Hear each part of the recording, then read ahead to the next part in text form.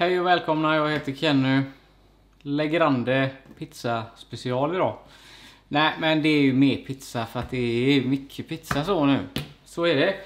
Så ja, det kommer bli lite köttigt så. Och så ska vi göra lite pizzatest. Se om jag blir kompis med min ugn imorgon.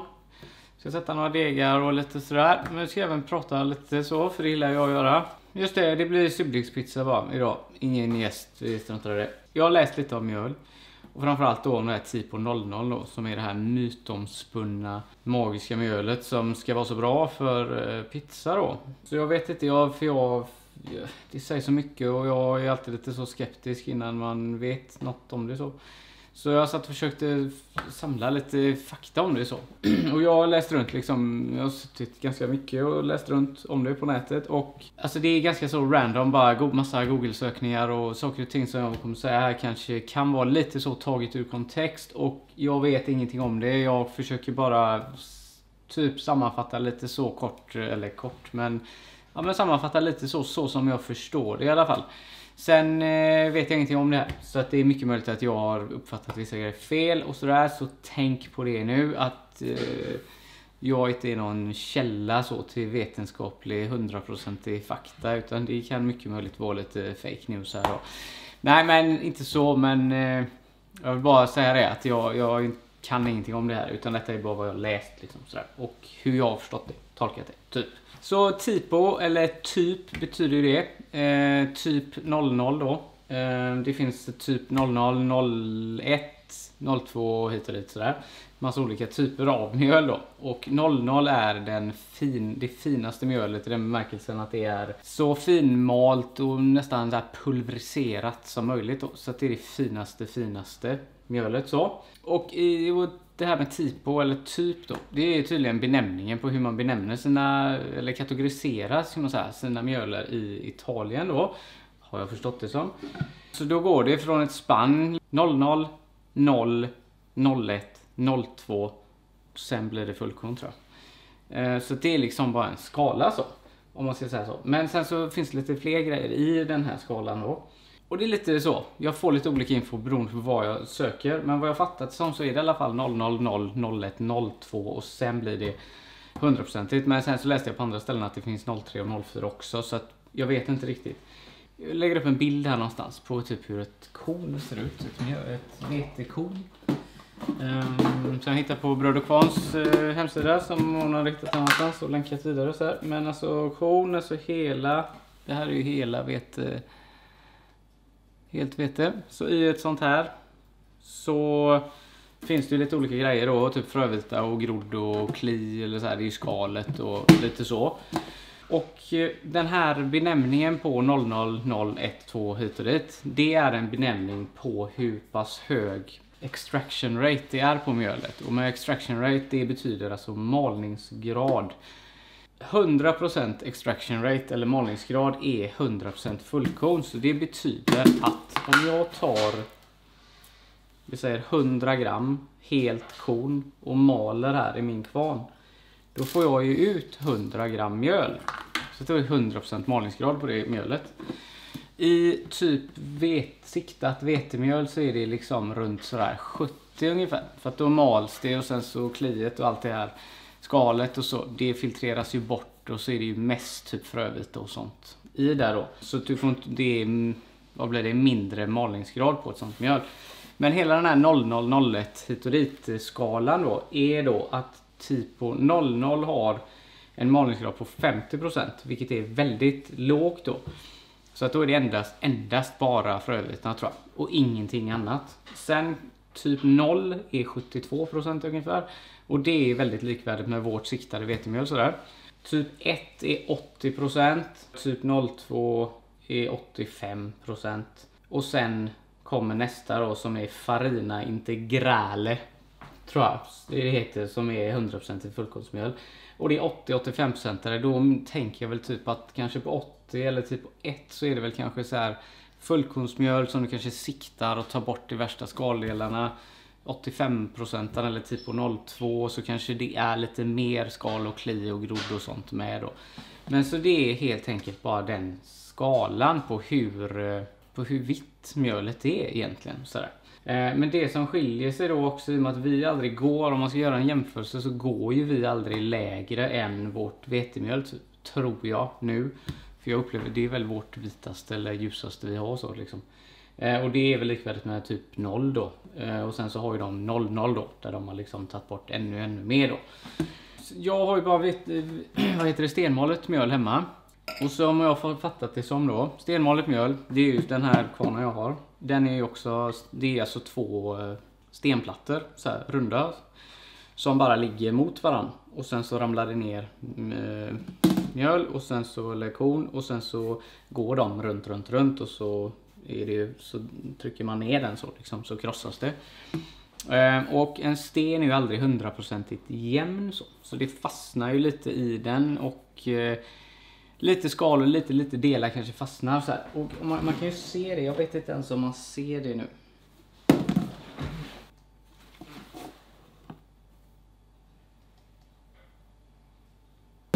Skitsamma, jag tror inte man ser det. Men om, du kollar, om man kollar på ett ekologiskt stenmalet vetemjöl så har det små, små svarta mörka prickar. Inte svarta, men brunmörka prickar i sig då. Och det är ju att det för att det finns lite, lite jox liksom, kvar i det. Eh, jag tror att det är främst för stenmalet. Jag vet inte om det är så för valsmalet också. Men valsmalet, om jag fattar det rätt, nu kan inte jag någonting om mjölkvarnar, men vad jag tror att det är så är det två plattor, men de plattorna är metall då. Och en metallplatta är ju så här hundraprocentigt jämn, så det är mycket lättare att finfördela kliet och allt det här. Det fastnar liksom inget i det.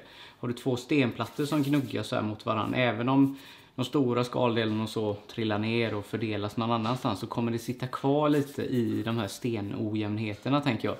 Så det gör att du får med lite, lite mer och genom att få med lite, lite mer i och med att typ mineral, de här mineralerna och allt det där, det är nyttiga om man säger så. Det sitter ju oftast i grodd och kli och sådär. Så då får du med lite av det gratis så i ett stenmalet mjöl så därför tror jag man säger att det är lite mer nyttigt så. Men vad jag misstänker då att typ på 00 är liksom valsmalet flera gånger om liksom. Så att det är liksom, så att det, typ nästan att det är någonting, någonting kvar. Det är alltså så här molekylnivå. Nej men det är sjukt fint då. Så det är väl egentligen det som är skillnaden på ett typ 00-mjöl och ett nollmjöl som är typ vårt metermjöl.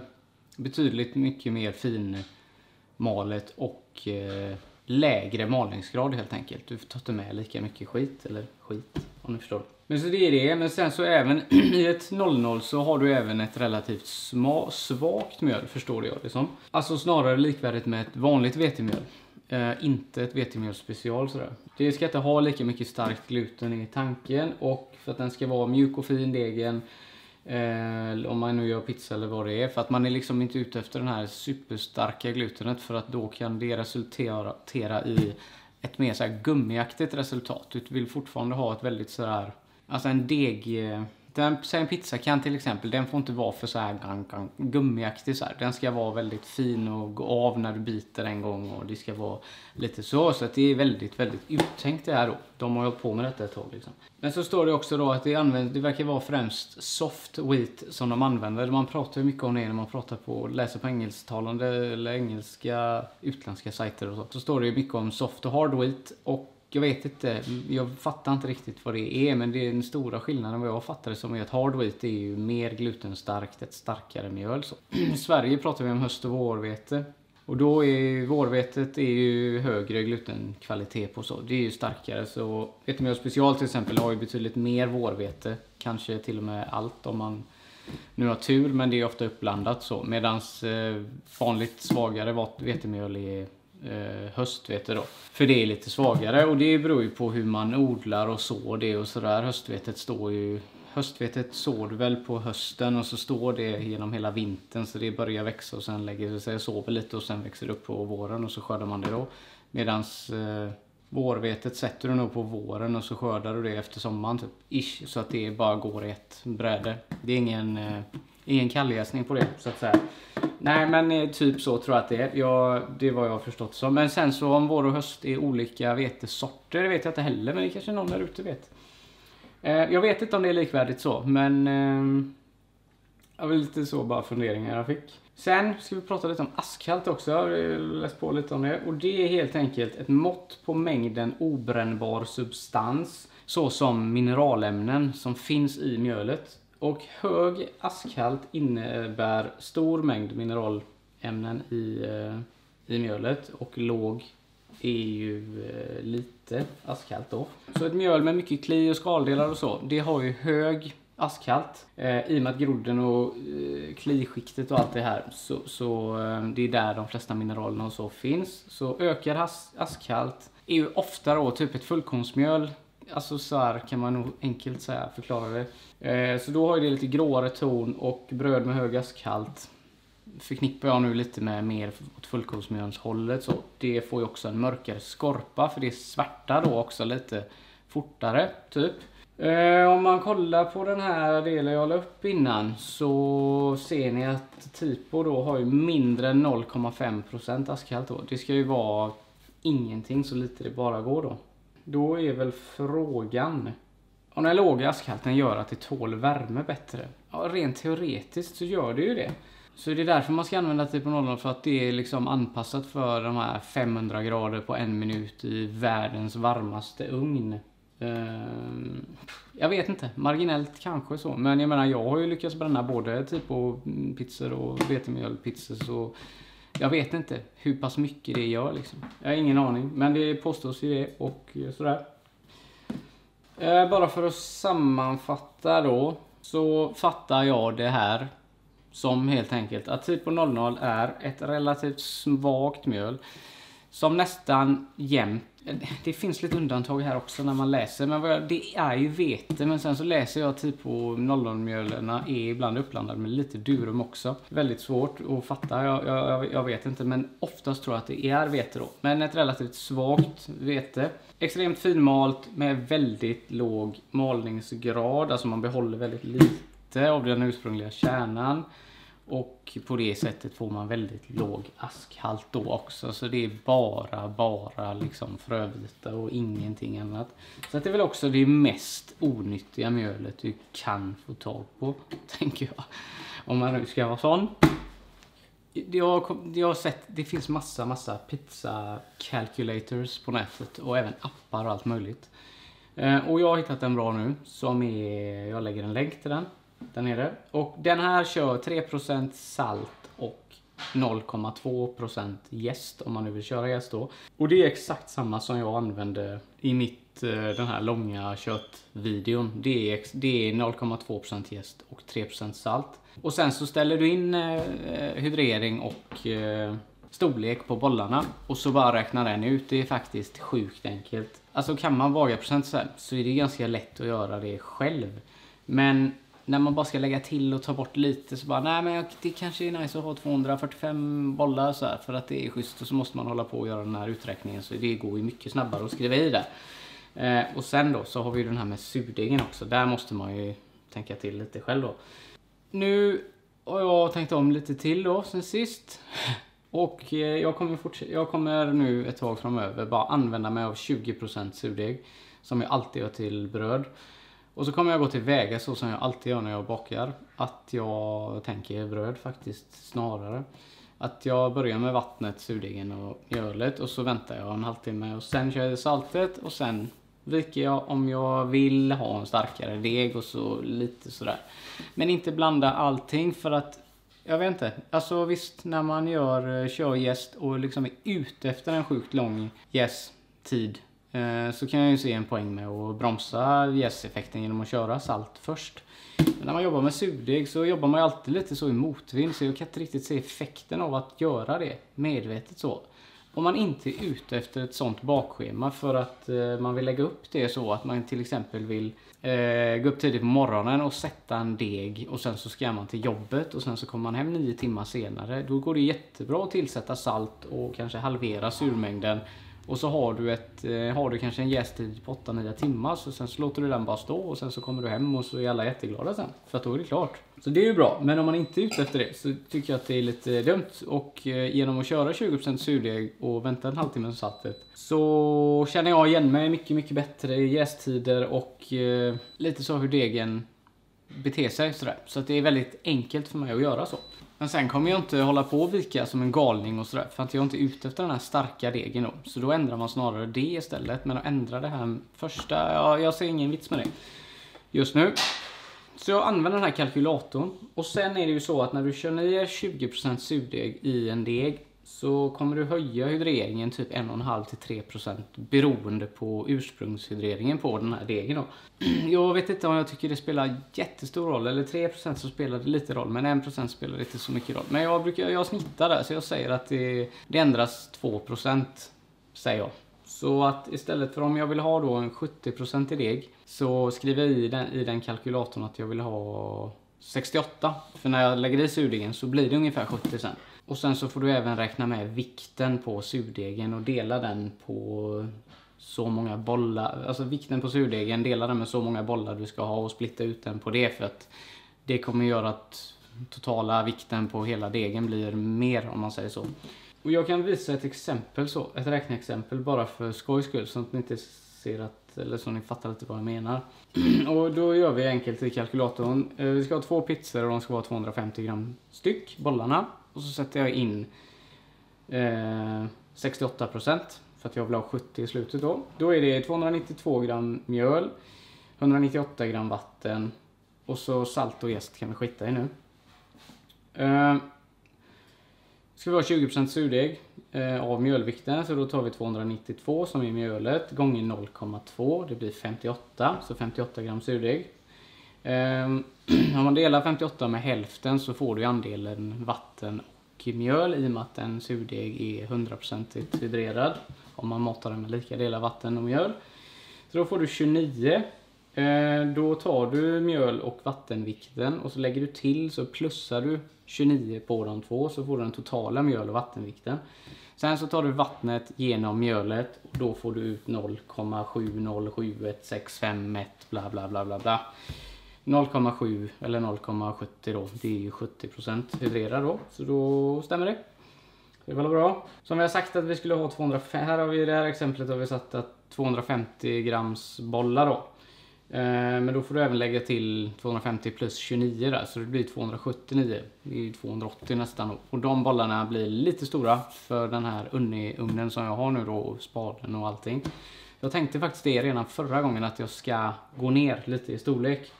Ganska mycket faktiskt. Och eh, jag tänker så här att jag kan gå ner ganska mycket i storlek i och med att eh, jag gör degen så pass lös nu så det är mycket, mycket enklare att få ut den. Så att jag kommer få ut hela, så att den täcker hela spaden fint ändå. Men tidigare när jag gått ner för mycket så har jag även byggt en för stark deg så då får jag stå och dra och hålla på så här. Och det vet jag ju nu hur man undviker om man säger så. Så jag kommer gå ner till 200 gram, vilket kommer bli ungefär 220 i slutändan med surdegen och så. Så det kommer jag göra lite mindre pizzor, men jag tror att det blir schysst. Sen om ni kollar på den länken till den sidan så har de även så här recept på en pdf. Så här jättesuper napolitansk pizza hur man gör och allt det där.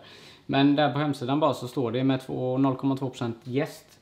Så står det att man jäser i 12 till 18 timmar i rumstemperatur.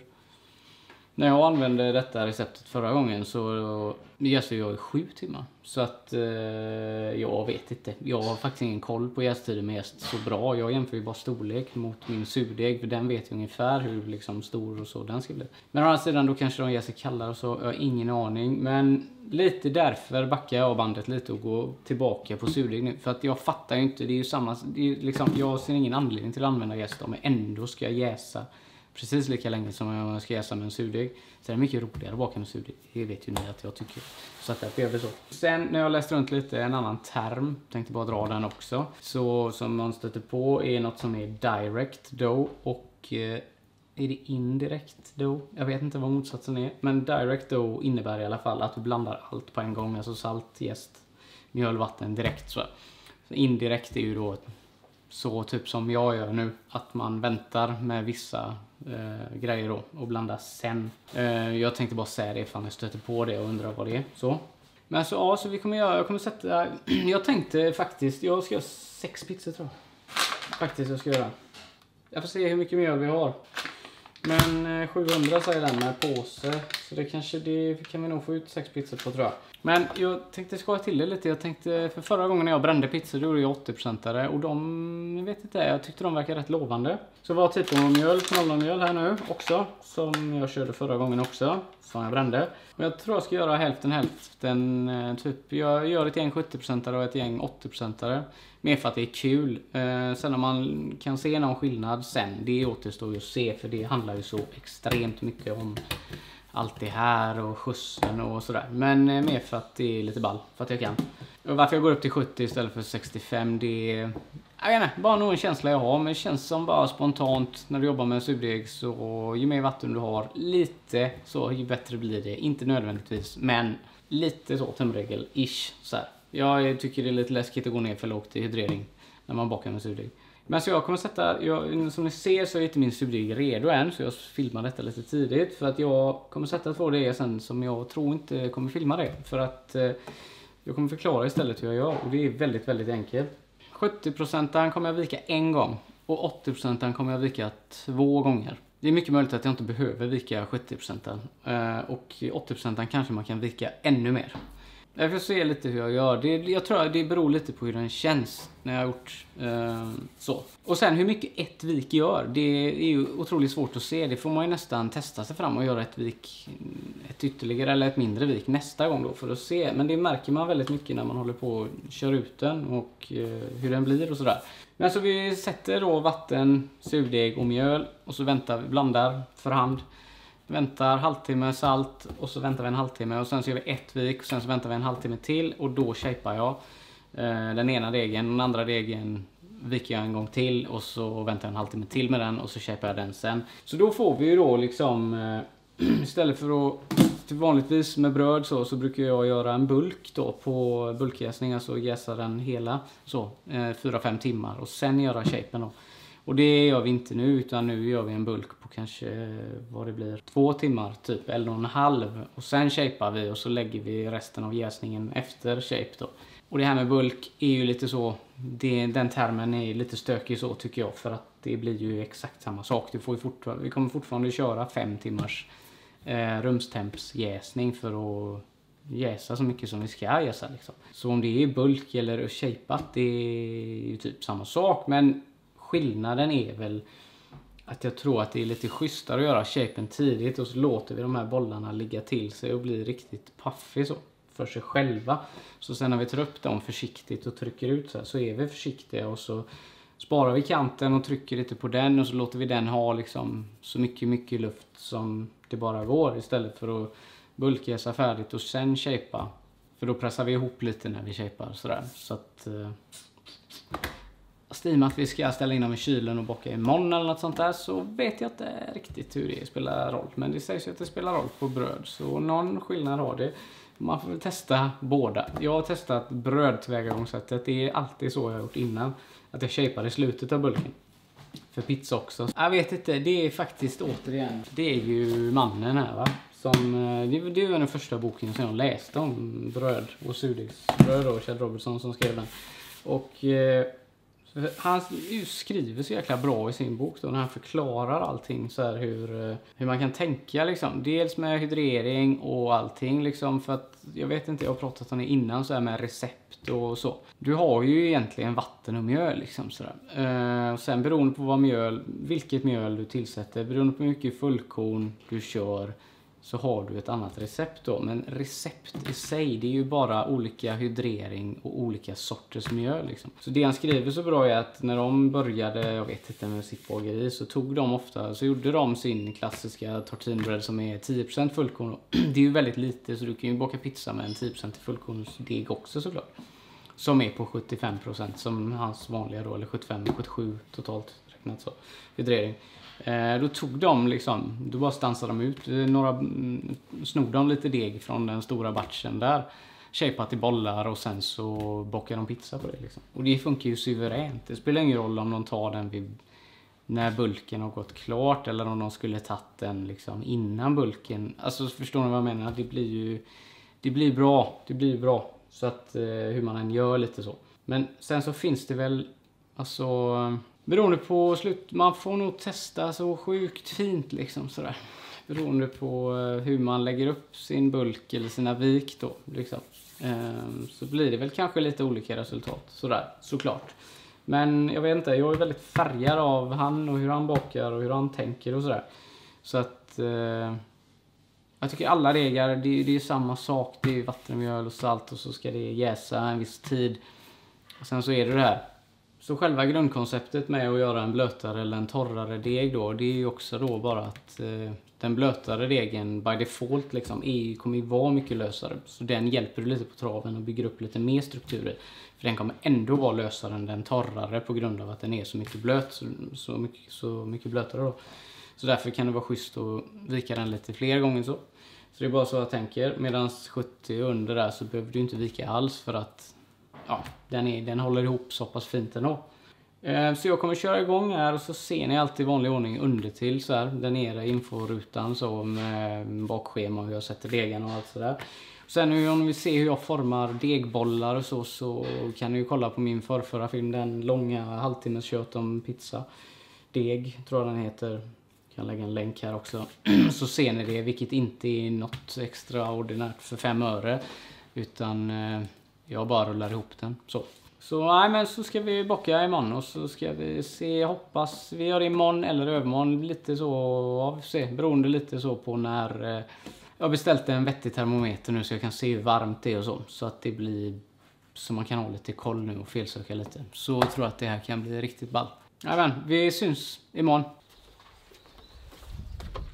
Hallå, det är dags att köra igång. Jag kommer inte prata så mycket för att det är stress. Det är så mycket stress. Men jag ska köra igång här. Jag kommer låta kamerorna rulla och så, så kör vi. Jag har en laserpicka här nu. Jag har fattat som att den ska vara på typ 400-430. Då är det bra.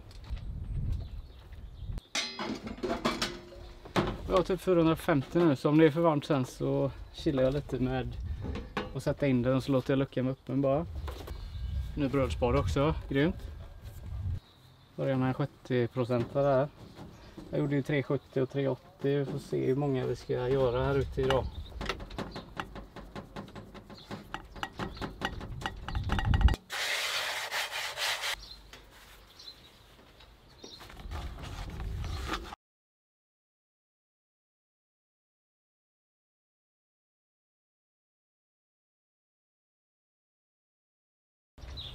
nu brinner det inte längre. Nej, det är sjukt alltså, det brinner upp så jävla fort. Så elden var borta nu när, när pizzan var klar. 400. Nu kör vi.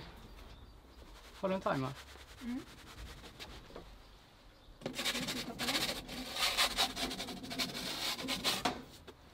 Ja, kör. Fan vad god den här var. Den bara gled. Hoppas att det brinner nu bara. Det blåser ju rätt mycket så det är därför det brinner ut idag också. Skit i vad det är. Har det gått 30 eller?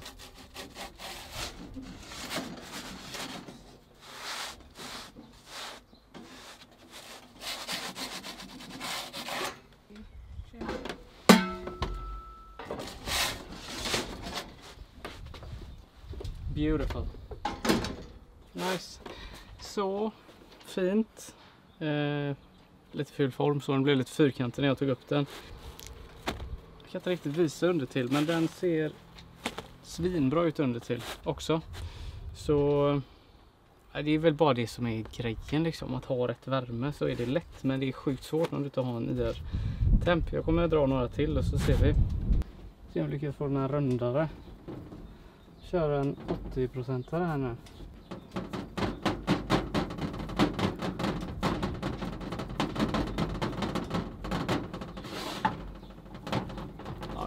Aning vart jag filmar här för att jag ser ingenting för att solen är rakt i ögonen. Det är sjukt lätt att dra ut alltså. Den är typ så, tjoff, färdig. 80% den blir så, den blir så väldigt så. Men det är lite gött också.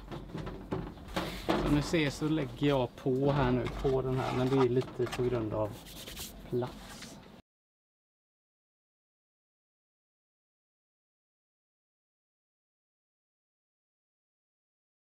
Kör lite ädelost och svamp och sånt gött på den här.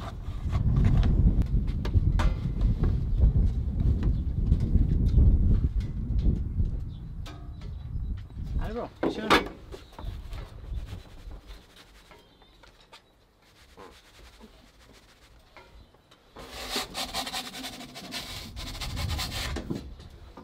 Kör du, klocka. Går det eller? Min extremt gravida fru är medhjälpare här nu. Kör du eller? Nu kör jag. Ja nu kör du. Sen när du har 30 då? Nu.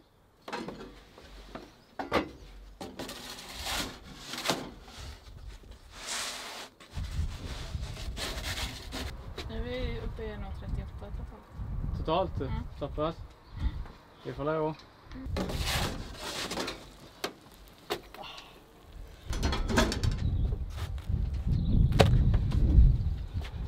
Ser ni här vad vackert det är eller? Det blir ju så jävla bra nu. Botten, jag kan inte riktigt visa det men botten ser likadan ut som, som det här liksom. Kanske kan vända på den nu om man har tur. Så det var så enkelt. Det var bara att ha rätt temp. Och en medhjälpare. Om man är snabb här så kanske man kan... Ja, det är prickigt. Det är lite svartprickigt. Den blev lite mer så den blev nästan bättre. Men den var typ 500-450 när jag satt in så det var schysst. Man kalas ju. Och den andra 80 där den blev ju... Eh, Margaritan är 70. Den andra är 80. Så det blir inte så här... Alltså det blir ingen skillnad liksom. Allt blir bra så länge man behandlar, vi är snäll mot egen typ. Så lite vad man föredrar tror jag. Eh, sen är det jättesvårt att göra jämförelsen beroende på hur man bakar ut den och allt det där. Så jag, tjötar. jag kanske tjötar lite mer där inne sen avslutningsvis för att det är så jävla stressigt här ute. Massa grannar som kollar också. Som tror att jag är helt galen. Kör en 80 till för att det var, det var roligast. Det här är verkligen bara så här. Låta gravitationen bara liksom dra ner den och så. Så är det färdigt.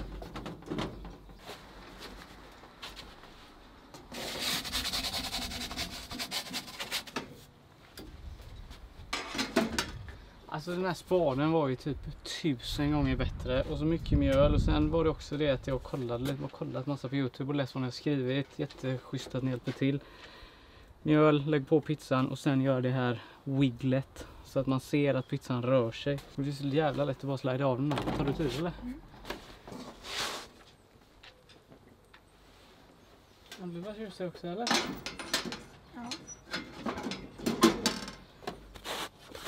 Inte de snyggaste pizzorna idag med formen men de här 80% glider ut rätt mycket så det är lite svårt att behålla. Också skitbra under till.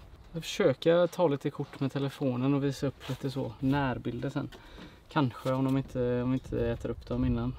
Det blir typ en och en halv till två minuter totalt. Det är svårt att få den på en minut alltså. Men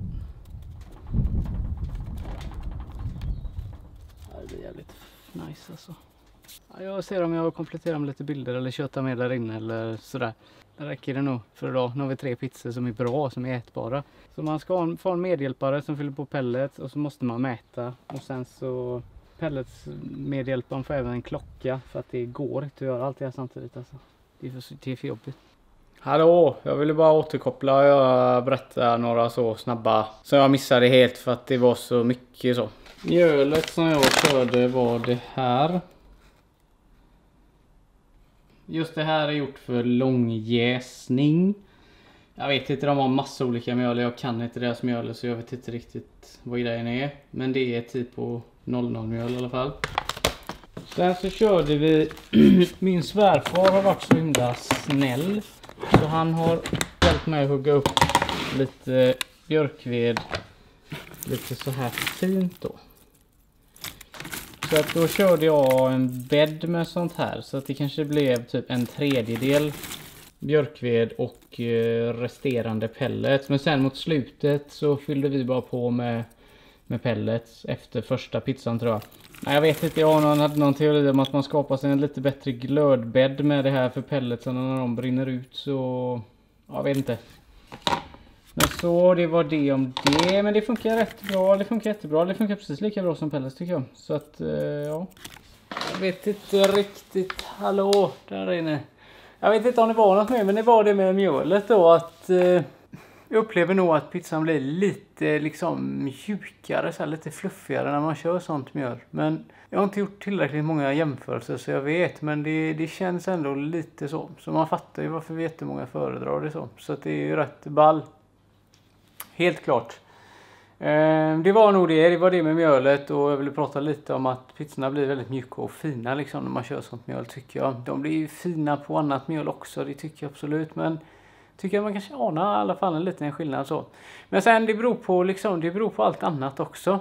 Ehm, tror jag, hur länge du jäser och även främst hur snabbt du gräddar dem då. För ju kortare du gräddar dem ju mjukare blir den för den hinner inte, det hinner inte bli någon skorpa och sådär. Jag ville bara säga det och sen så, jag vet inte, jag tänker nu lite så att jag kommer kanske göra en mer, eh, jag vet inte hur det blir så. Jag kanske gör en eh, mer pizza lite längre fram nu. Nu vill jag bara hålla på och testa lite för mig själv så. Tills jag får fullständig koll. Men det är ett tvåmannajobb alltså, det är det lätt. Som jag snackade om där, alltså jag och min fru där fick ju köra, hon fick ju vara pelletspåfyllare och eh, klockare alltså. För att det går att göra allting. Och så mäter jag tempen och bara kollar så att det är bra och sen skjutsar man in den så, så funkar det. Men kommer fortsätta lite så, eller jag kommer ju klart jag kommer baka pizza kommer jag göra hela våren och sommaren liksom. Så här. Det är ju kalas. Eh, men så kanske jag återkommer lite längre fram när jag har testat lite olika så med degar och lite så fram och tillbaka. Men för nu känns det som att man, eh, det, det funkar. Det gör det. Det funkar ju jättebra ugn och så liksom. Men man måste ha koll på tempen annars vet man inte vad man håller på med. Alltså. Det var bara det jag ville säga. Nu är jag lite trött i benen av att stå så här. Jag, jag har rivit ner allting så det var därför jag bara...